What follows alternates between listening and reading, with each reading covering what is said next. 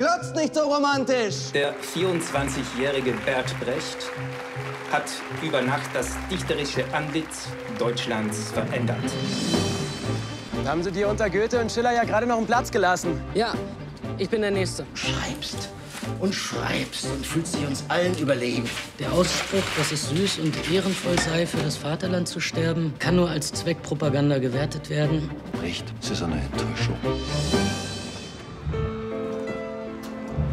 Ich bin nichts Besonderes. Das kann sich ändern. Die Paula? Steht's mit der? Paula muss bald zur Beichte.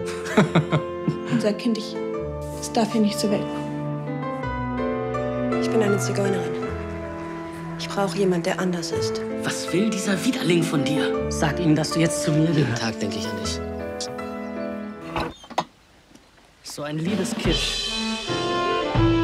Brecht, steht ihm ein Bett für die Nacht. Er will alle und alles.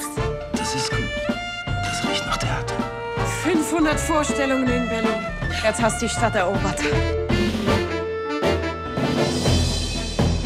Wir sind jetzt im sozialistischen Deutschland. Wir arbeiten am Aufbau einer neuen Gesellschaft. Bitte, das kommt von ganz oben.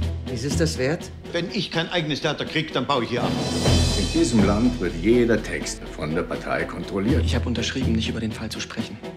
Polnische Offizier hat mir die Abschrift vertraulich zukommen lassen. Stalin ging den Weg des Terrors. Die es geheim halten wollen, haben recht. Man kann es nicht veröffentlichen.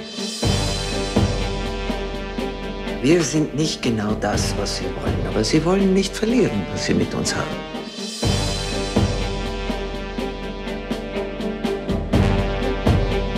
Es war eine große Liebesbeziehung. Das hat alles sehr, sehr